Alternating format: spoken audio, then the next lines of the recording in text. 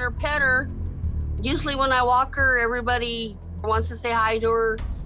It wasn't suspicious at all. Her body language here seems very positive and very non threatening. But within seconds, her real intent is revealed.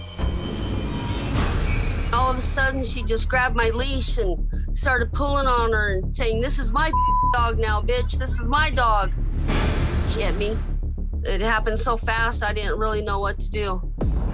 We were fighting for the leash. This woman is trying to steal Molly's dog, and it's a well organized effort.